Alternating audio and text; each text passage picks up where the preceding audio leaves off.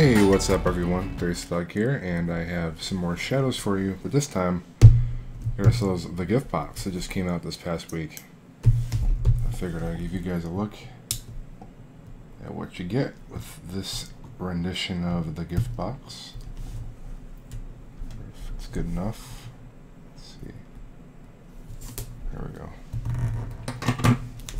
Alright. So, pretty sure it's always been, or at least recently been, the same contents, so nothing too surprising here. But I know one thing that did change, I guess we'll take a look ourselves, but supposedly the box, which is kind of the main reason why you get this anyways, but you know, besides the packs, of course. But the box itself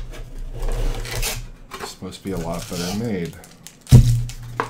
From what I can tell right away, I'll notice that instead of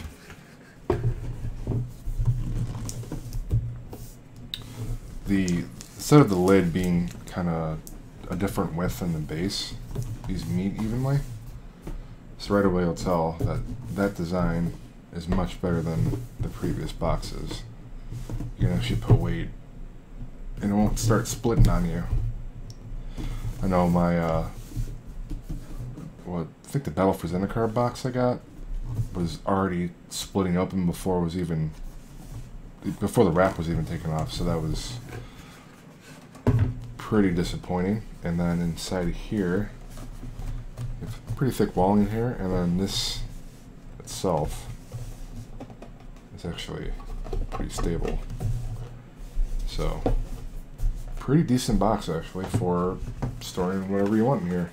Probably magic cards.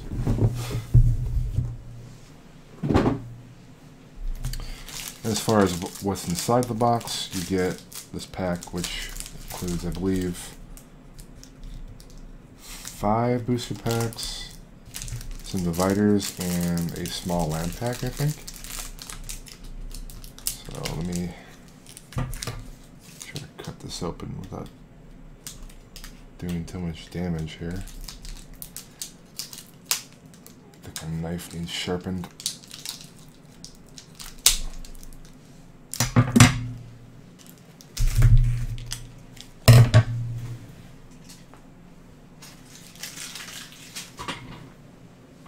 Okay.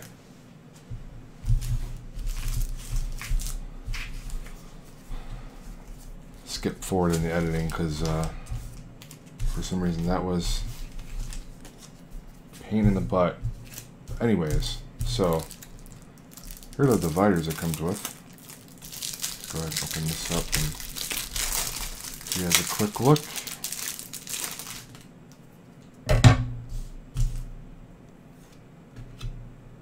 Pretty cool looking.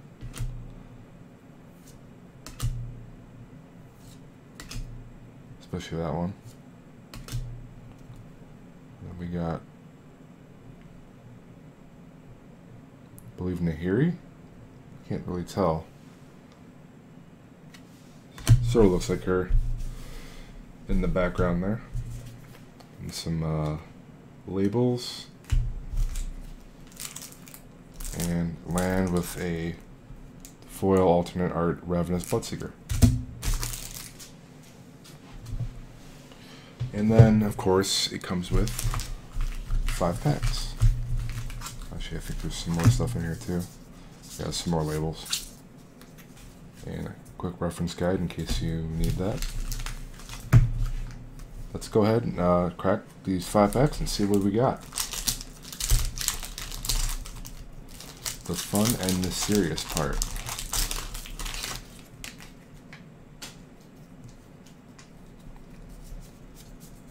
skip to the uncommons. We have an Obsessive Skinner, Ravenous Bloodseeker, Inner Struggle, and a Choked Estuary. That's cool. And we have a Flip Hermit of the, Net the which of course flips into Lone Wolf of the Natterknolls. Island and Clue Next pack.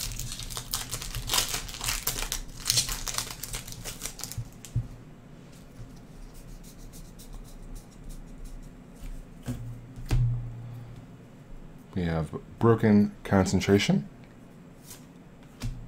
Morkrut Necropod, Ongoing Investigation, and a Scourge Wolf. Two red, you get a first striker, that's a 2-2 as a wolf horror. He also has double strike if you have Delirium enabled. And then we have a Gatstaf Arsonist for a flip. And Plains and Vampire Knight.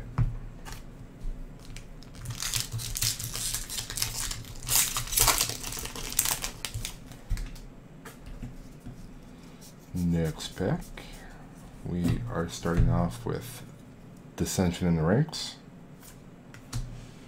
Liliana's Indignation, Paranoid Parish-Blade, and Tamiyo's Journal. So this is the 5-drop artifact that generates a clue token on your upkeep.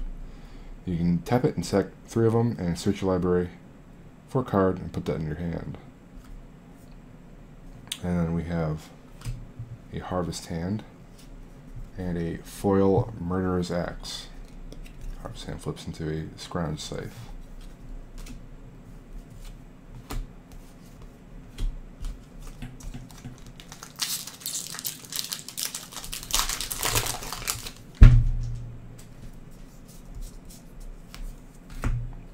All right, we have Pick the Brain, Pore Over the Pages, Tenacity, and Angel of Deliverance. So 6 and 2 white, flyer at 6 6. And when you have Delirium enabled, you get to exile target creature and opponent controls when the angel does damage. And then we have another Gatstaf Arsonists. Alright, last pack.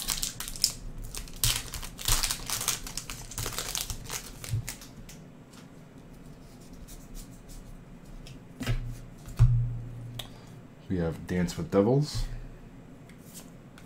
Creeping Dread, Fleeting Memories, and A Fevered Visions. The one in blue and red enchantment that lets each player draw a card at their end step, and if your opponent has four more cards in hand when that occurs, it deals two damage to them. Then we have a Heir of Falkenrath and a foil Hope Against Hope.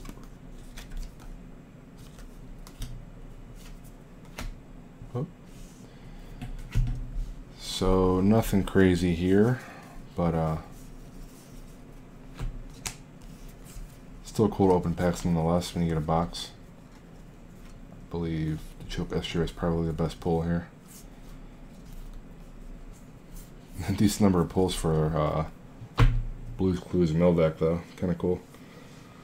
Alright guys, hope you guys liked the looking on the gift box. Um, I know that if you had concerns before about the construction of the box, it looks like they're doing a much better job at that. So glad to see that Wizards is listening and stepping up the game a little bit.